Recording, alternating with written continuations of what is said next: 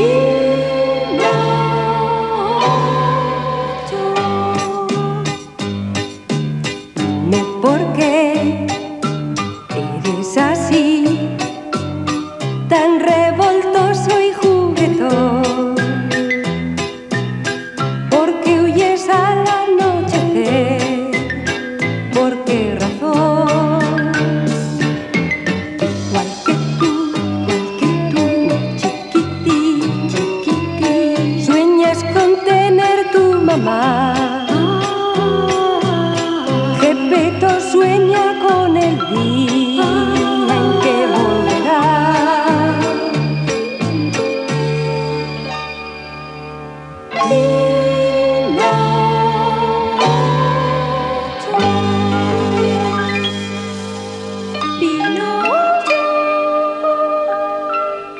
La larga nariz de Pinocho.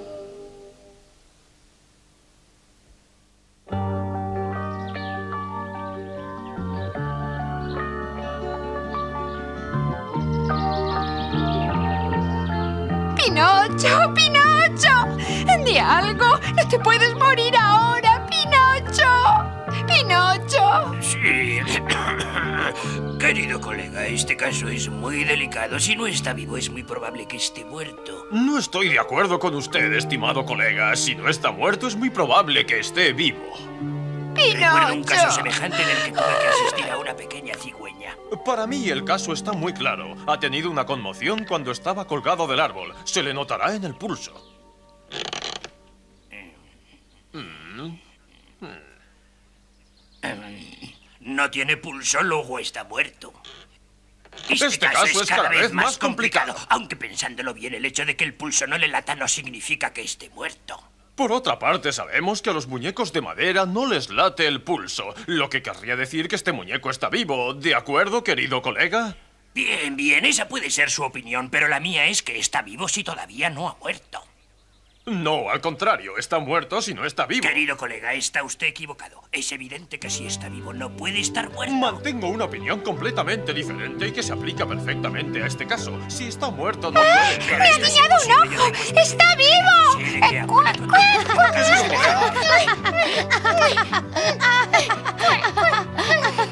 Para, Gina, que me haces cosquillas. Está vivo, lo sabía. Mi diagnóstico diagnóstico ha sido sido acertado. Ahora intentaremos que se restablezca del todo con una buena inyección fortificante. Hay que coserle, hay que coserle bien. Una buena sierra. Un martillo. Pinzas. Tenazas. Hilo. Bisturí.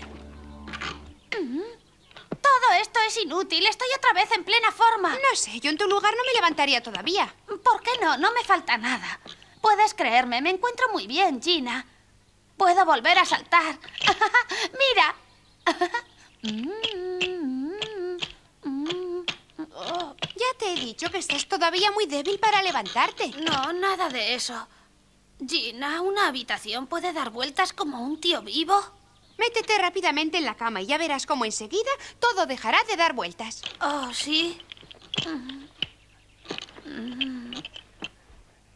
A ver, saca el brazo para que te pueda poner una inyección. Y abre mucho la boca, ¿de acuerdo? Ah, sí, muy bien. Y ahora di. Vamos, vamos, estate quieto. No muevas tanto el brazo. ¿Cómo quieres que te ponga la inyección? no Abre la boca de nuevo. ¡Oh! No quiero inyecciones, yo no estoy enfermo. Descarado, nosotros somos los que tenemos que decir Te si estás que enfermo. vuelvas a abrir la boca. Quedaos donde estáis. Si os acercáis os ¿Pero ha morderé. visto un descaro mayor? Oh.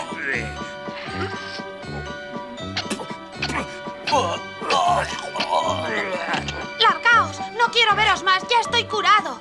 Oh,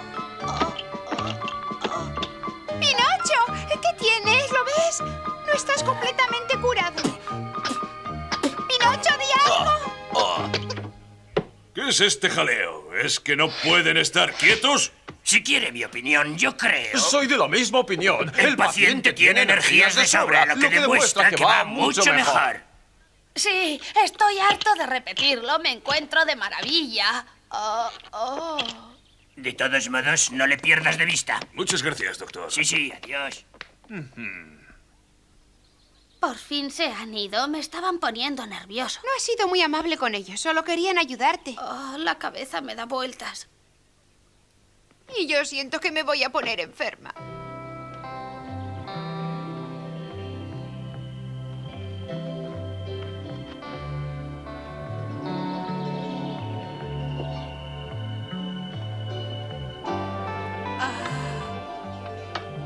Por fin te has despertado, Pinocho.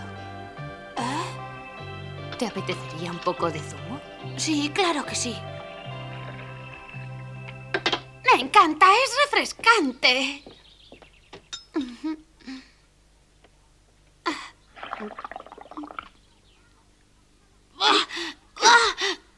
Oh, ¿Qué estás haciendo, Pinocho? Esto sabe muy mal, no lo Pero si quiero. es zumo de remolacha con un poco de ruibarbo. Es un poco amargo, es verdad, pero... Ah, si este zumo sienta bien, entonces bébetelo tú si quieres. A mí no me gusta.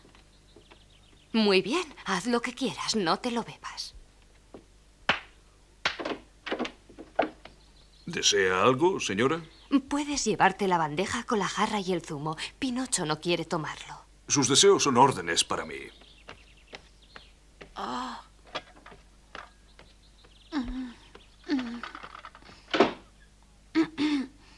Por favor, hada buena. ¿Sí? ¿Qué quieres? Tengo mucha hambre. Eh, ¿Puedes darme algo de comer? Desde luego. Espera solamente unos segundos y tendrás lo que quieras.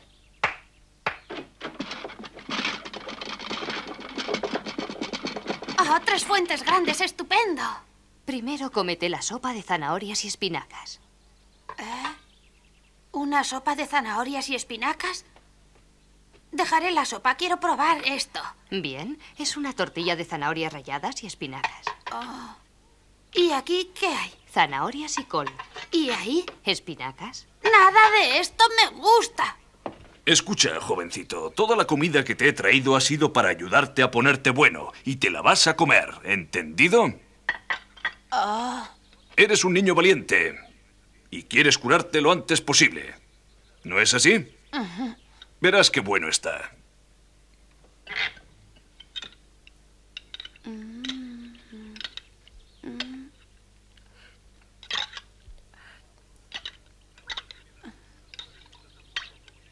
Ahora dime la verdad, ¿a que no está tan malo como decías, ¿eh?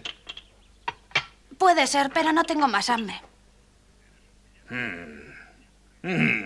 Eres un pillastre.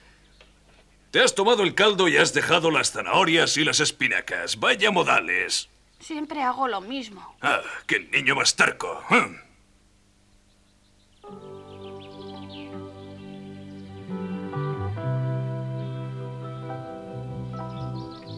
Oh, Dios mío, otra vez está enfermo.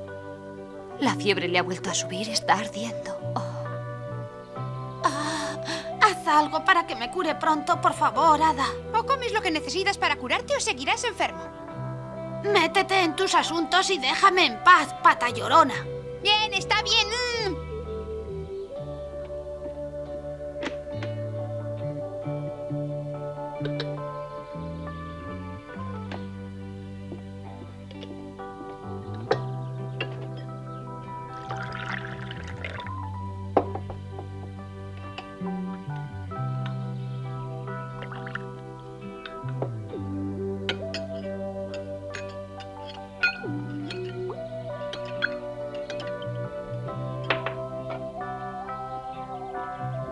Tómate esto. Si te lo tomas, te curarás en pocos días, Pinocho. ¿Es dulce o amargo? El sabor es un poco amargo, pero es bueno para tu salud. No, si es amargo no lo quiero. Pruébalo, el sabor amargo desaparece rápido. Yo quiero que desaparezca ahora mismo. Haz un esfuerzo. Bébelo rápido y después te daré un poco de azúcar y el sabor amargo se irá. Mm, ¿Dónde está el azúcar? Quiero verlo. Aquí está. ¿Qué dices ahora? Dame primero el terrón de azúcar y después tomaré esa medicina amarga. ¿Ah, sí? Bueno, si me das tu palabra.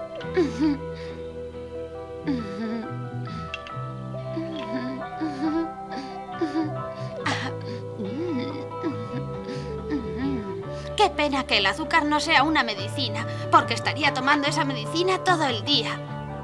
Bien, ahora tómate esto. Ah, Bébetelo, has dado tu palabra.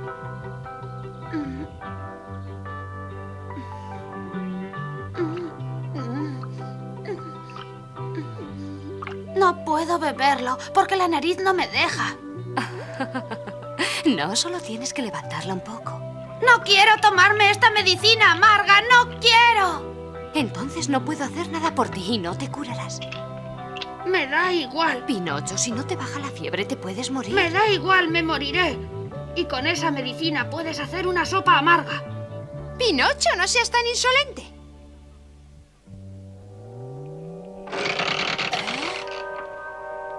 ¿Qué son esas luces? Parecen antorchas. ¿A quién tenemos que llevarnos? Ya estamos quién queréis aquí. llevaros? ¿Dónde ¿Quiénes sois? ¿Qué queréis? Hemos venido a buscarte. Te llevaremos cuando hayas muerto. No podéis esperar a que me muera todavía. Estoy vivo. Quizá, pero no te queda mucho tiempo. Nos hemos enterado de que no querías tomar tu medicina. Tu vida acabará en cualquier momento. Esperaremos hasta entonces. Ah, podéis iros. Tomaré mi medicina. Claro que la tomaré. ¿Quiere decir que hemos venido en balde? Podemos esperar en la puerta. Puede que no se la tome. Bien, bien. Nosotros somos los conejos negros que siempre vamos a todos los entierros. Cuando te mueras te llevaremos y bajo tierra te enterraremos. Oh, qué miedo. ¿Te la vas a tomar ahora? No querrás que te lleven los conejos negros. Oh, no, no, no. Ah, ya pueden irse.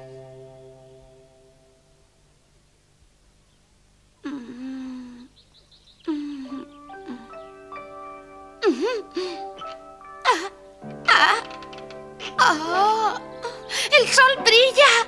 ¡Ah, creo que estoy curado! ¡Yupi! Ah, ¿Dónde estará jugando Gina?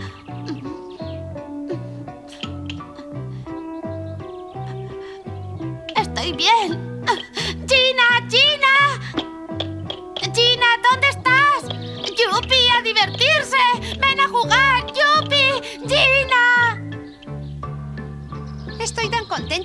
Haya curado tan rápido. Sabía que la medicina le salvaría. ¡Yujú! ¡Pinocho! ¡Pinocho! Eh, Ella está corriendo otra vez. ¿Te has escondido detrás de un árbol? ¡Sal de ahí, Pinocho!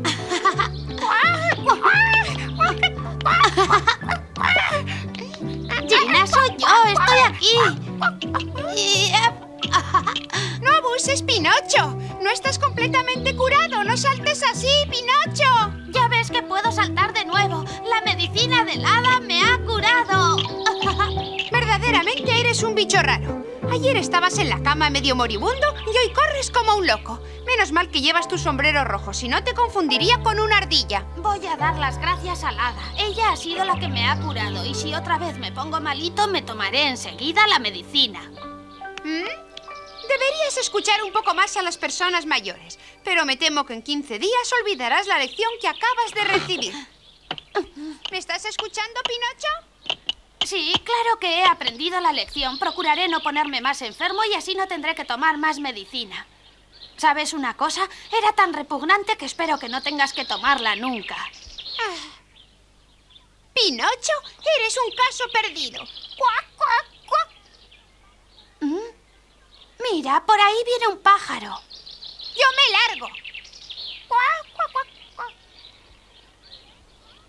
Me parece que es...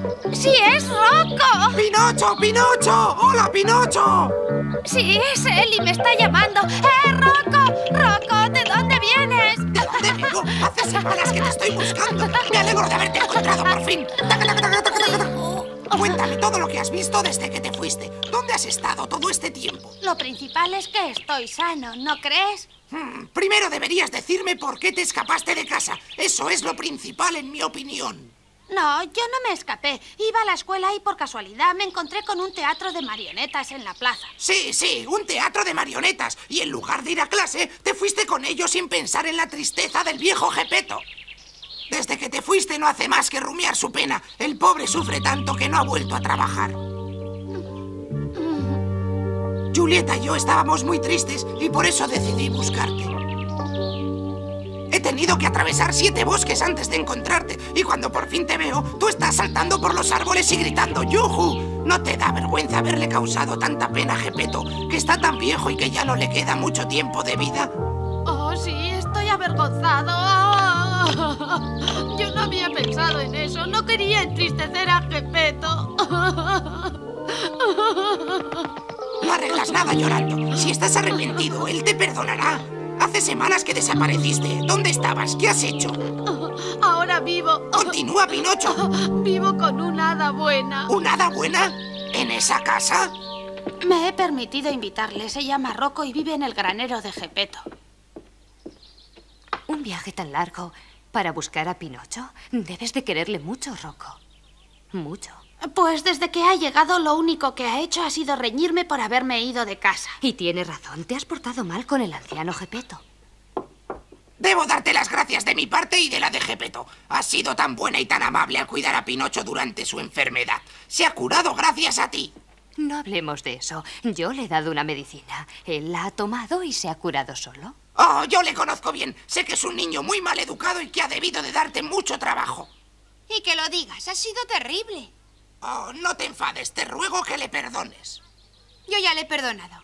Dejad de hablar mal de mí. Me he portado muy bien. Incluso me tomé la medicina que sabía tan mal.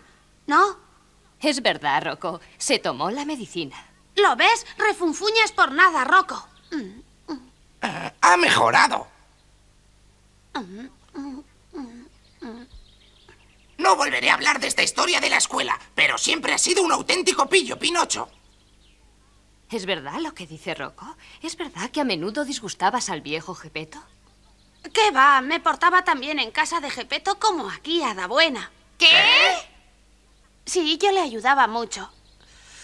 Hacía la limpieza, iba a buscar leña al bosque y allí la cortaba. Oh, ¿Cómo se puede mentir así? Rocco no puede saber lo que yo hacía. Siempre estaba volando por ahí, paseando. Nunca estaba en casa. Al fin y al cabo, Gepeto no trabajaba. Yo lo hacía todo. Si es verdad lo que me cuentas, Pinocho, el pobre Gepeto debe de sentirse muy triste sin ti. Por supuesto, él es ya bastante mayor y yo sé que me debe de echar mucho de menos. Pero le vendrá bien. Así se dará cuenta de que yo le era muy útil. Además, si me marché fue por su culpa, pues me obligaba a ir a la escuela. Aunque yo era tan buen alumno que todos me querían muchísimo.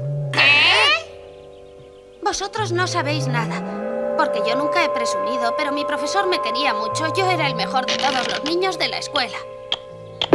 Los otros alumnos me pedían que les ayudara a hacer sus deberes. Es verdad. No me gusta presumir, pero es la verdad. Oh, oh, ¿Pero qué es esto? ¿Qué le ha pasado a mi nariz? Oh.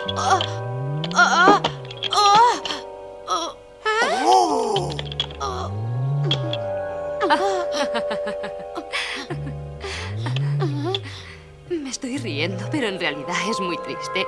Jamás había conocido a nadie que mintiera con tanto descaro como tú, Pinocho. Pero si no he mentido, solo he dicho la verdad. Oh, ¿Lo ves? Cada vez que dices un embuste, la nariz te crece varios centímetros. oh, oh, es horrible.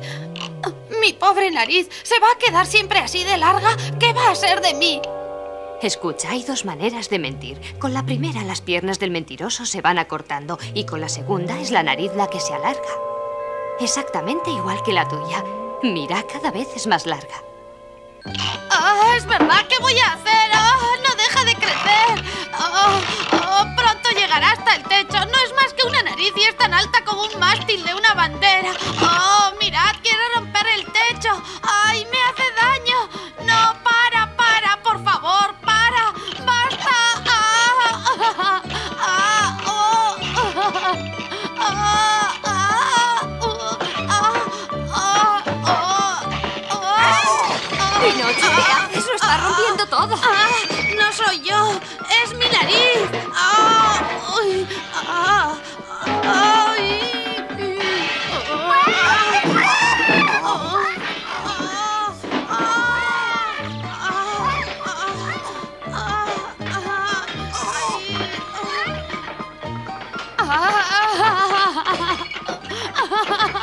¡Desaparece, fea nariz! ¡No quiero verte más! ¡Vete! ¡Ahora atraviesa la ventana! ¡Oh, no!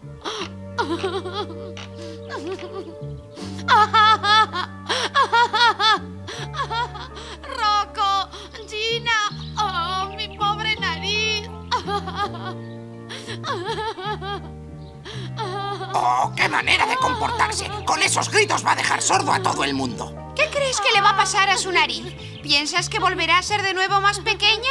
No tengo ni idea. Reconozco que ahora me da un poco de pena. A mí también. Vamos a preguntarle al hada qué podemos hacer. Buena idea, Rocco. Está siendo un poco cruel con él.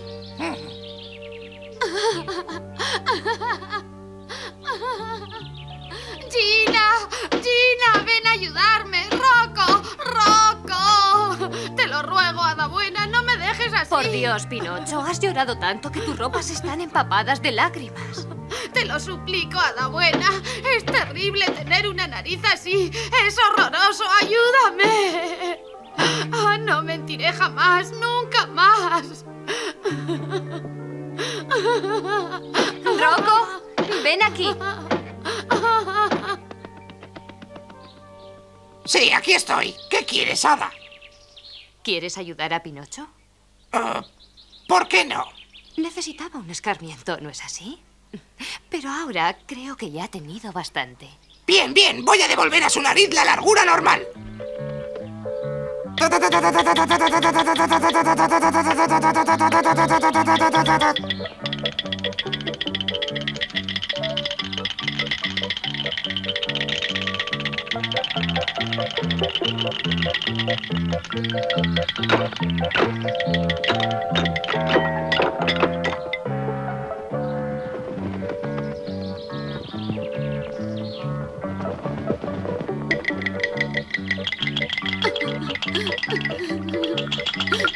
Estoy muy avergonzado. No volveré a mentir nunca más, nunca más.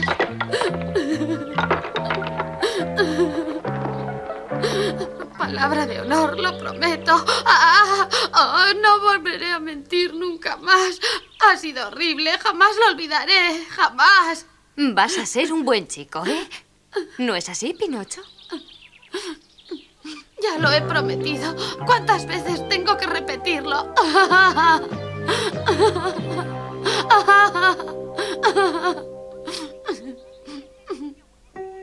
Eh, sí, él quería ser un niño bueno. Y con esa intención, Pinocho tomó el camino de vuelta para encontrarse con Gepetto.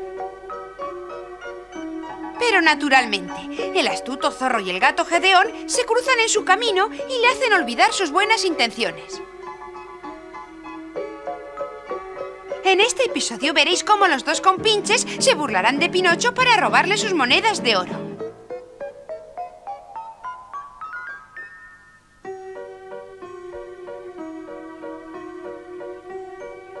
Interviene un loro en la historia.